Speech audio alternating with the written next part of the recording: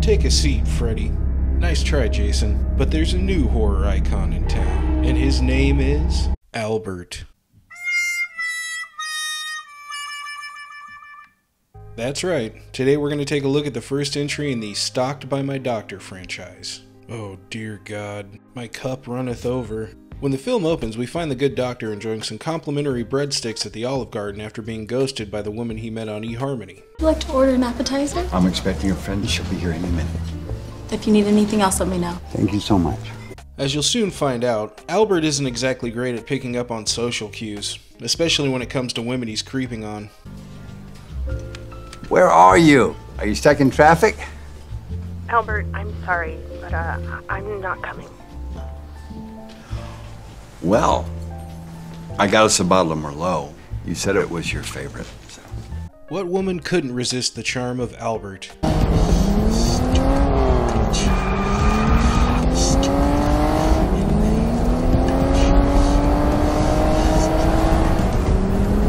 Jesus. Maybe he should be stalking a therapist, huh? After a harrowing PSA on the dangers of texting and driving, Ryan, you shouldn't be texting. They want to talk to me about a scholarship. Come on, you know I don't like when you do that.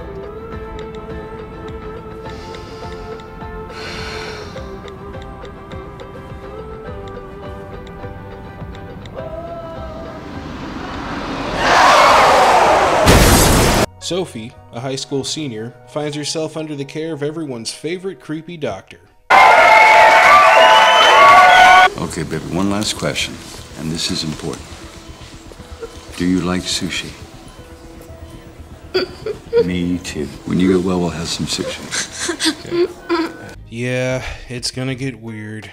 With a new target in Albert's sights, the women of eHarmony breathe a collective sigh of relief.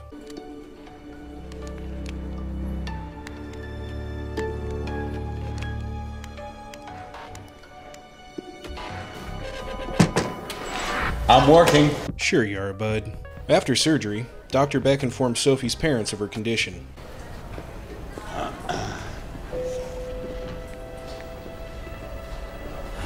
on, let's go. Pause and remove glasses for maximum drama. She's gonna be fine. Thank you. When can we see her? Well, we're gonna move her to a private room, so it shouldn't be long. Excuse me. I need to be somewhere.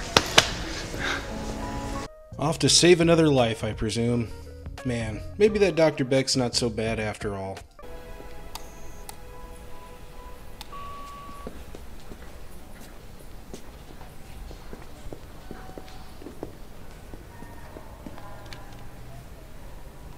Wait a minute.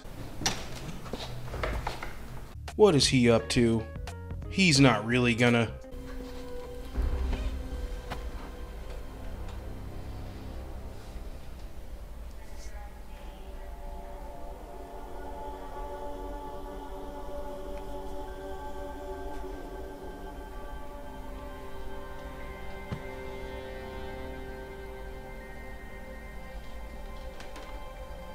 Oh, what the?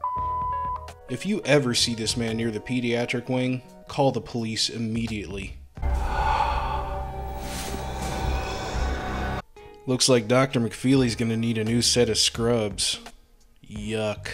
Tell the parents they can come in now. Ugh. Talk about adding insult to injury, huh? This guy's a real piece of work. After sneaking in one last creepy predatory glare at Sophie, Dr. Beck heads home to take a cold shower. Afterwards, he trolls Bumble for a woman with poor decision making skills. And then it's right back to the Olive Garden, where even a creep like Dr. Beck feels like family. He still needs to use that Groupon after all. I'm really glad that you responded to my post. Me too. So far, so good. You know, if this works out between us, I've got this. Uh... Let me show you. Please don't be a pick. My place in Cabo San Lucas. The master bedroom overlooks the Pacific Ocean. I'd love to take you there. That's beautiful. All that must have cost a fortune. Well, I've worked all my life, and it's just me, so You don't say. I can afford it. Well, I've never been to Mexico. I've been to Japan. Barbara, part of the reason that I got on this website was so I could meet somebody exciting, somebody like you, and just spoil her rotten. Old Sugar Daddy Beck, they call him. I mean, you wouldn't have to work anymore. You quit your job. Are you saying what I think you're saying? I thought this through. I know what I want. And when I meet somebody I like, I know it. He can always tell someone likes him when they make this face. Just met. I know, and that's the beauty of it because I'm ready. I mean, I could retire right now, but Many people have suggested that he should. share my life with someone. Well, I like my teaching job. Oh, you wouldn't have time for a teaching job, not with the kids. Kids. Wow. And that's a lot to lay on you in the first date, isn't it? But hey, Ah, a brief glimmer of self awareness. That's about the most you can ask for from old Albert. You know what? I'm gonna go. why? What? Did I say something wrong? Are you serious? Please don't go. Please don't go. Please. Works every time. Just tell me what I'm doing wrong. Because I'm obviously doing something terribly wrong. Oof. How much time you got, buddy? We met four hours ago. We had coffee. We spent the afternoon together. But now you want me to bear your children and raise them in a foreign country? You're the doctor, not me, but I think you need to see a therapist. I'm sure Albert's mature enough by this point to accept this assessment. Thank you for the enlightened analysis, you fat ass bitch. Good God, doesn't he know that this is a family establishment? I'll go to Bellevue, and then you can go straight to hell. Real clever. You Touch me or call the cops. I don't need to touch you. Wow, he's really going to resort to the old I'm not touching you tactic. So go ahead, run. I don't care. Good luck getting a boyfriend, because I'm not interested. Looks like he's going to be big pimping down in Baja all by his lonesome. The next day at the hospital, Dr. Beck is up to his usual creepy antics once again. Is this going to hurt? A Little.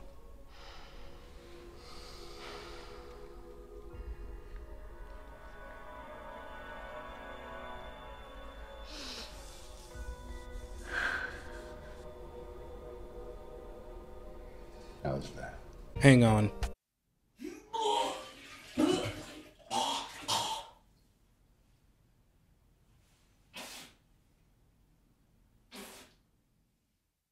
When Sophie's mom walks in unexpectedly, she gets a pretty good idea of what Albert's bedside manner looks like. Is everything all right? Oh, yeah. Her latest CAT scan looks really good. She'll be able to go home today. Oh, good. Well, I'll give you ladies some privacy?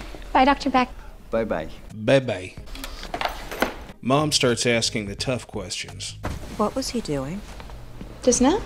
He was just changing my bandage. Was there a female nurse present when he was doing that? Mm, no, should there be? Yeah.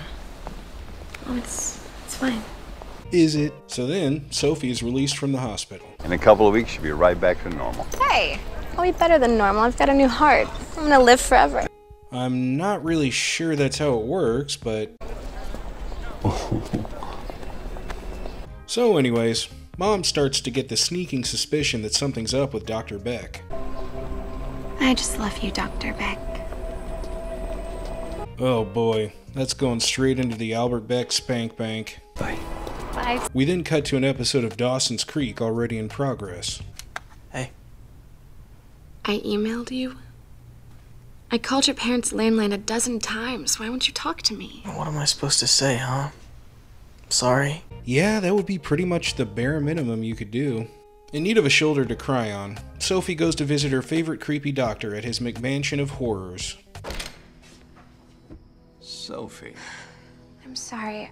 I know it's late. I just really needed to talk to you, and I, I know that I should have called first. No, really, it's okay. Please, come in. He's just relieved it's not the local teenager spray painting obscenities on his house again. You have a really nice house. Thank you. Wait till you see the basement.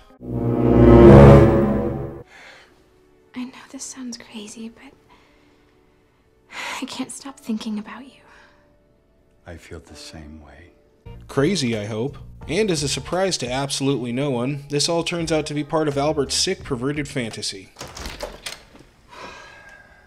I guess it was just those damn neighborhood kids again. Dr. Beck, hi. Did you need something? Oh, just came by to say hi to this young man. I was here the night of his accident, so I just thought I'd come in and see how he was doing. With Sophie's boyfriend still in the way, Albert decides to do a little social engineering.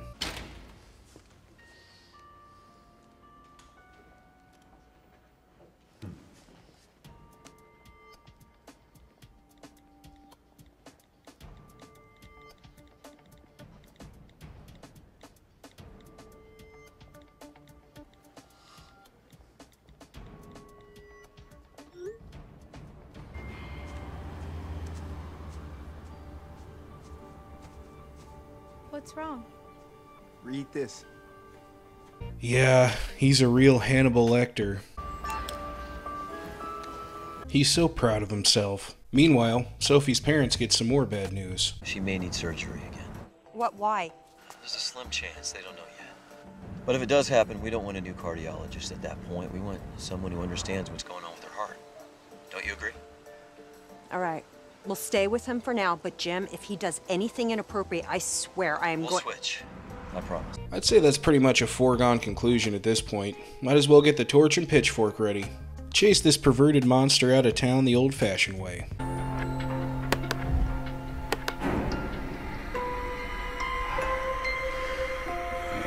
All this creeping around starting to wear him out.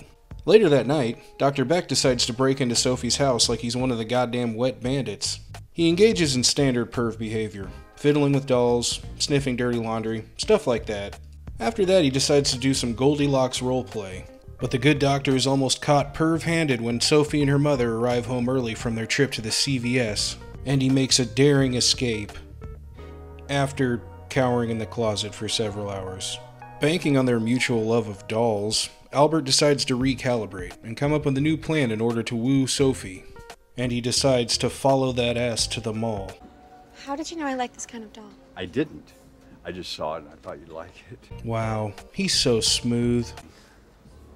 I can't accept this. Hey, uh, we're gonna be late, so we should go. Bye. The audience is then treated to yet another embarrassing meltdown from Dr. Beck.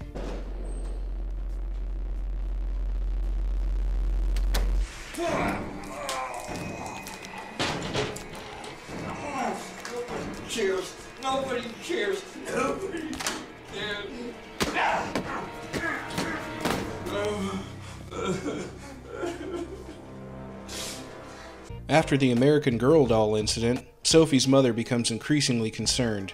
Dad, you should see the way he looks at me. It's like he's a middle schooler and he wants me to help him lose his virginity. Okay, what do you want me to do? I don't know, literally anything? Yeah, and I think we should get a restraining order. And ruin this guy's career? Oh, God forbid. He's following her in the mall. Well, what are we gonna wait till he rapes her? I don't want him to be my doctor anymore, Dad. I refuse to let that man touch me again. Okay, okay, I'm sorry, honey. I'll talk to him tomorrow and we'll find out what's going on. Geez, world's greatest dad over here. But Dr. Beck decides to pull a fast one on dear old mom and switches up her medications.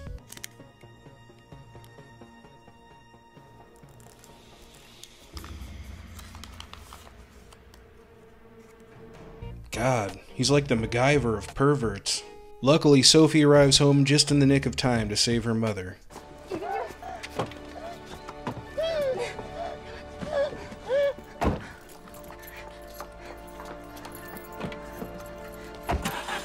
With no one to look out for Sophie, Dr. Perv makes his move. And if you thought this movie wasn't convoluted enough already, Dr. Beck actually goes through the trouble to fake Sophie's death. Body burned beyond recognition, but they were able to trace the car back to her family and have now identified her as 18 year old Sophie Green of Los Angeles. So now I guess Dr. Beck and Sophie will live happily ever after in his creepy McMansion. And Albert can't help but celebrate. But his celebration is cut short when Sophie escapes. Looks like it's time for a good old fashioned game of Beat the Perv. Sophie, I love you. Oh, ah. Let me take care of After going full Arnold Palmer on Dr. Beck's ass, Sophie arrives home just in time for her own funeral.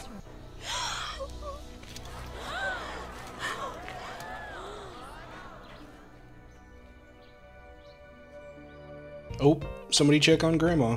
The police raid Dr. Beck's house, but alas, he's fled like a perv in the night.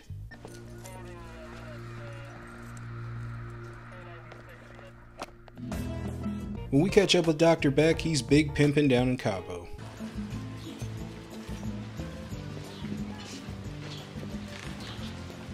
Hola. Hola. ¿Estás listo para ordenar? Todavía no. Estoy esperando a alguien. Muy bien. I'll bet he's regretting buying that Spanish fly from the gas station right about now. She'll be here any minute. Wow, you'd think a few whacks to the head with a golf club would really mellow a guy out, but I suppose Albert will never learn. Well, that's it for today, guys. You can stalk me in the comments section anytime. Good luck getting a boyfriend, because I'm not interested.